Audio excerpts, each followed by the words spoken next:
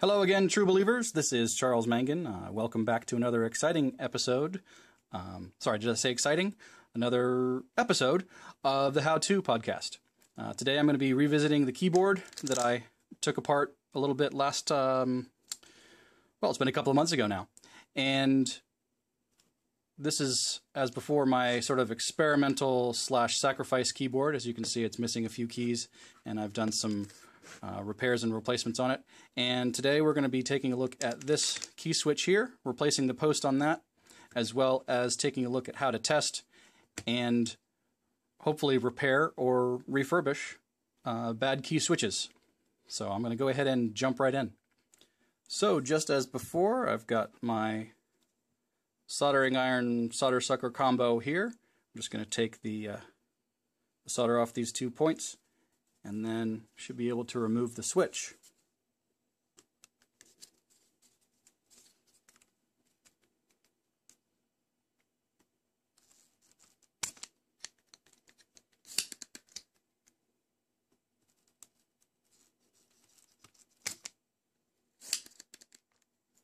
A tip that I think someone sent in since last time was to try and use a pair of uh, chip pullers to get the uh, two sides of the switch pressed in at the same time so you don't have to get in there with a knife or uh, various bits of sharp metal and risk damaging the other keys.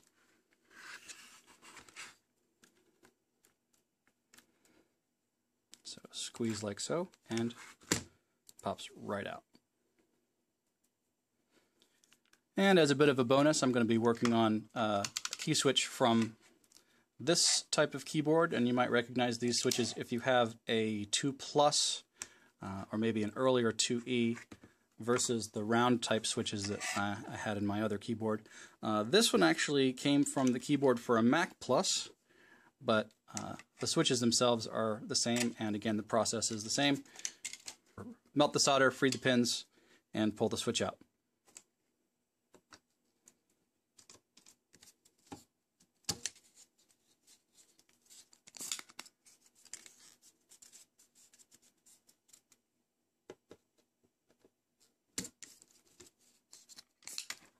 And again, the chip puller or tweezers, something similar, makes this a much easier operation.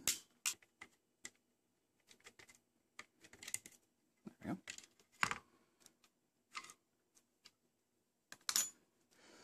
Now at this point you can put away the soldering iron, but you may want to get out your multimeter.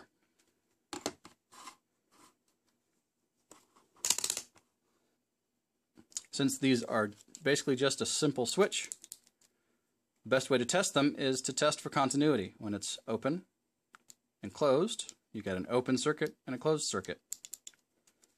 Alright, so I've got my leads hooked up to some clips and meter set to continuity. So when I get a good connection, should hear a beep.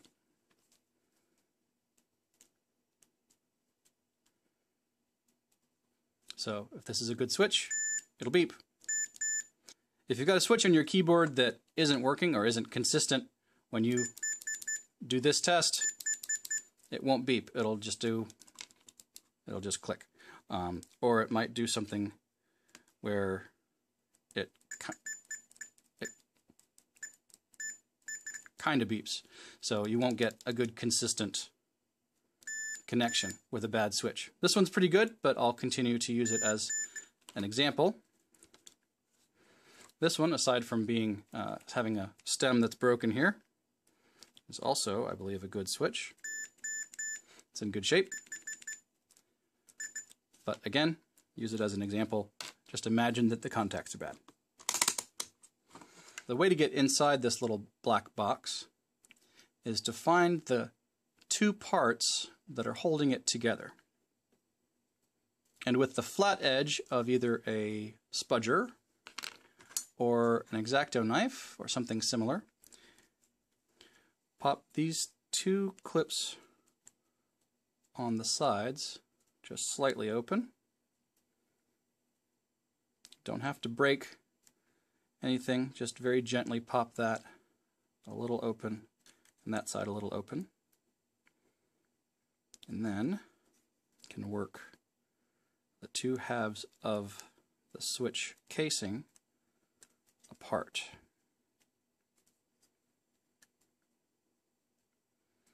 And depending on how grody these things are, there may be some uh, stuff in there that does not want to let go.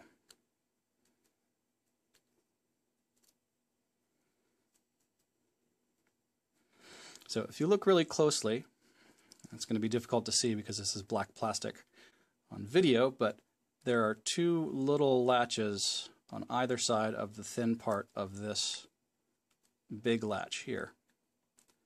And this is the latch that holds it into the body of the keyboard itself. These two little latches are what holds the switch body together. So if you can work this just a little bit open, maybe even work your blade down to these little switches here, again very gently, trying not to break this plastic piece, because while I've managed to recreate some of these uh, plastic bits in uh, 3D printed plastic. I haven't got this casing quite yet. So once you've got one side loose, just hold it there and then do the same, same thing with the other side.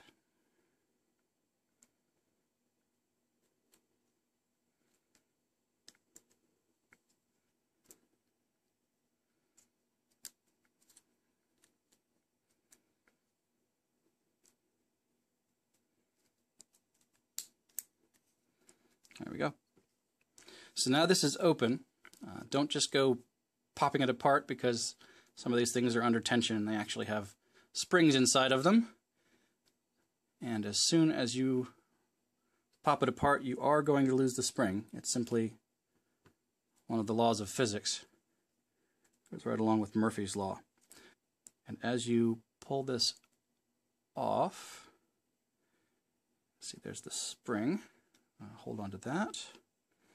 So there are two very thin pieces of metal. This one with the three prongs.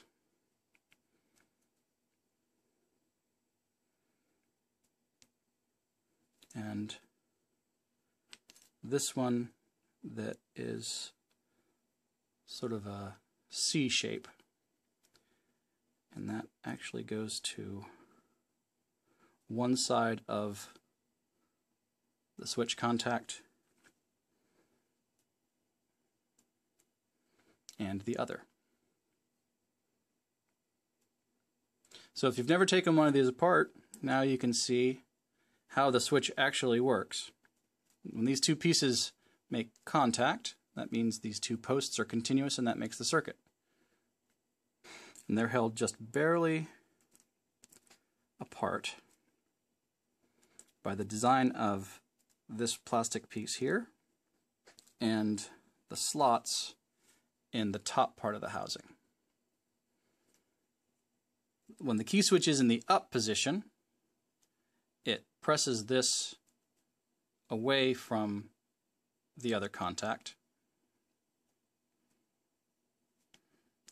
And as it pushes down, it allows the two contacts to touch. This outer piece here is held in tension against the inner piece, makes contact. And then when the switch post is actually introduced, it makes contact when the post is down. And then when the post is up, it pushes the two ends apart. So that holds it open, and when you press down, it makes contact and closes. So open, up, down, closed. So if those two pieces aren't making a good contact, it could be a number of things. It could be some corrosion in here. It could be that one of the pieces is bent or corroded to the point where it's not holding its shape anymore.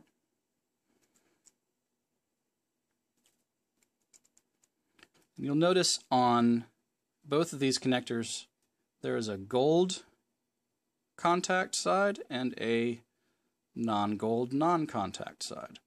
So the parts that make contact should be gold, and if they're corroded or covered with gunk, this would be a good time to address that with some isopropyl alcohol and some contact cleaner.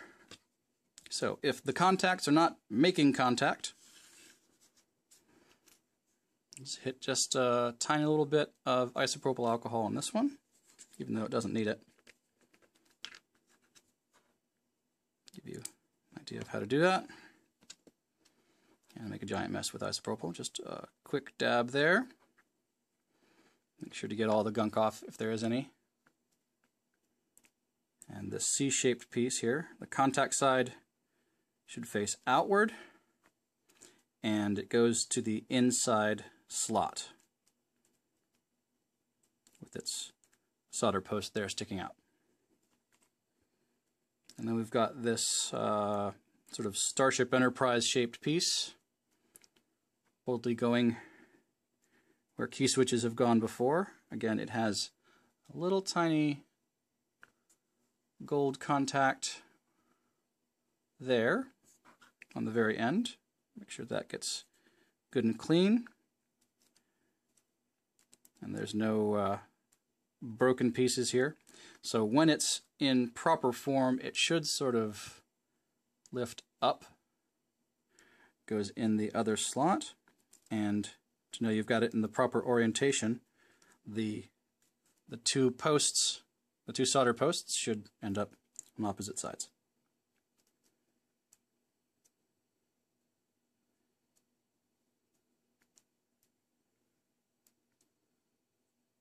So this post being broken is trash. But of course I have a replacement.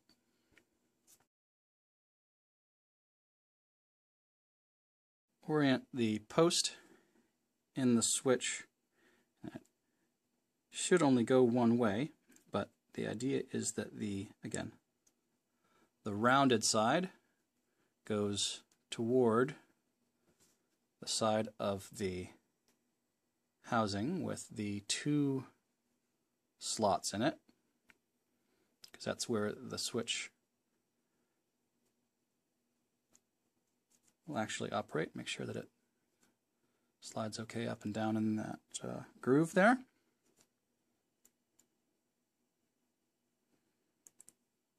And you'll feel that kind of press the two contacts away from each other as you pull the switch post down into place. So you get your spring back in place. Don't let it go flying. So reassembly is just the opposite of before. We align the holes in the base with the two solder posts and press it together. Make sure the spring stays in there in its little housing and it all snaps together. So now I've replaced the post and just as proof of life, it's all good. So that's ready to pop back into the keyboard and solder back together. So next we'll address this other style of key post. The key switch has a uh, T-shaped post instead of round, but it's much the same kind of construction where we just need to pull a couple of tabs apart at the same time and the whole switch will come apart. On this one, however, they don't give you quite as easy access to those tabs. So you see the gray shape bottom piece is sort of mated with the black top piece. And you'll see these sort of T-shaped sides. Those are the parts we need to pry, again, very gently apart. Just a little bit of pressure pops them open, and you should be able to start to pry the case apart.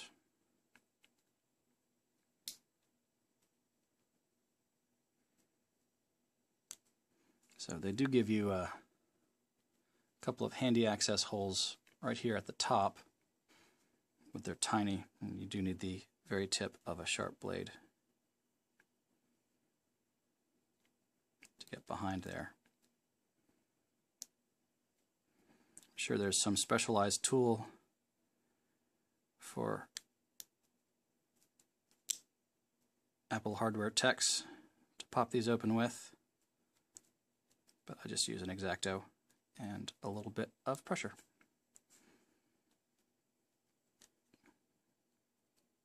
And try not to slice my fingers open.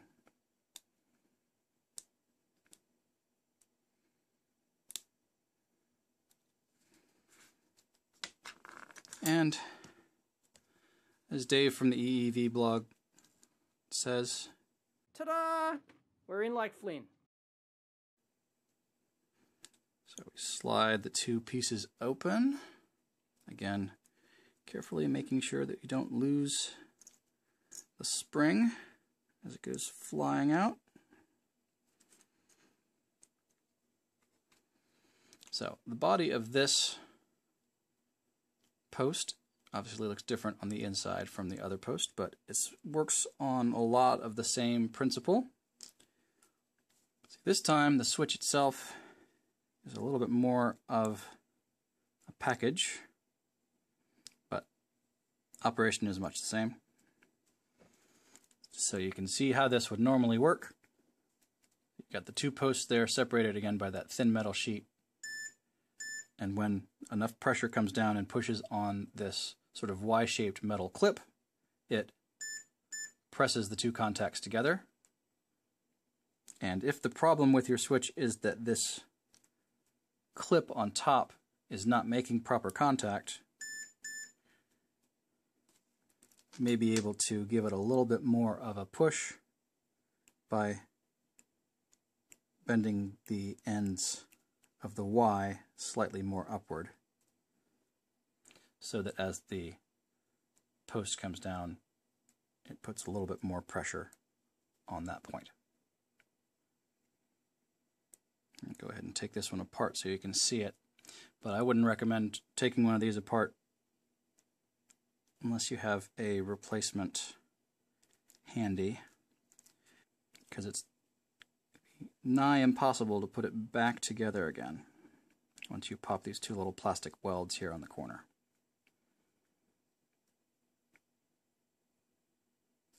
There's an upper piece here that's connected to this solder point. It's held in place by a little plastic rivet there. You'll see that underneath it is a very thin a very thin piece of clear plastic that is holding the top contact apart from the bottom contact. And so when the switch comes down, it actually push, pushes on this third metal piece with this little bump in the middle there. The switch slides down. These two little arms of this Y-shaped piece push down the tiny metal nubbin in between them, pressing top contact down into the bottom contact, closing the gap created by this tiny sheet of plastic. So you can see why I would recommend not bothering taking one of these guys apart because even if you were to get in there and clean out any gunk, clean out the contacts, be hard pressed to get it back together again with the same tolerances it had originally.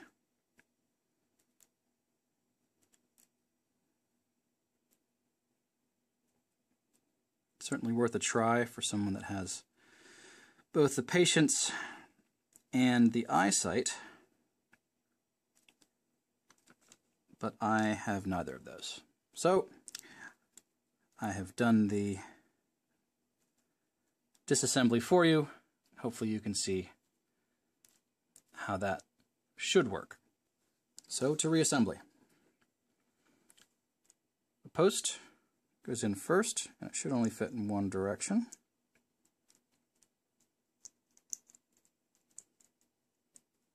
And it goes into one of the two slots in the housing. This switch assembly all clipped together goes into the other slot in the housing.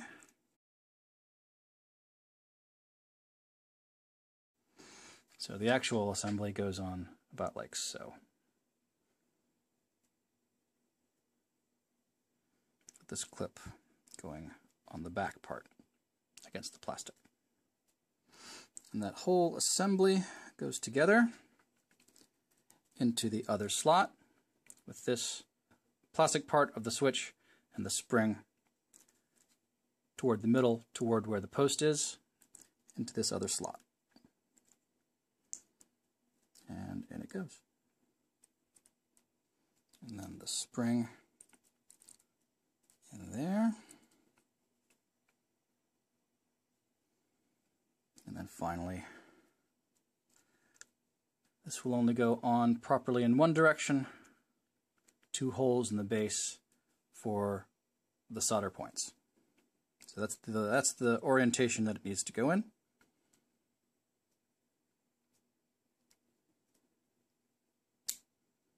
And it'll snap back together again.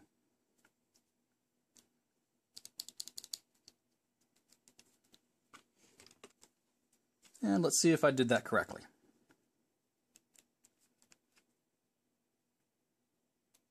So open, closed, open, closed.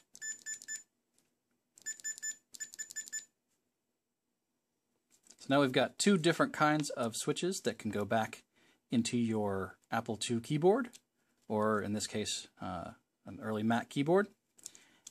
All you need to do is put those through the holes in the circuit board and solder them back on. Make sure you test first, and uh, good to go. And if you have any questions or anything you'd like me to cover on how to, please contact me through my website at retroconnector.com.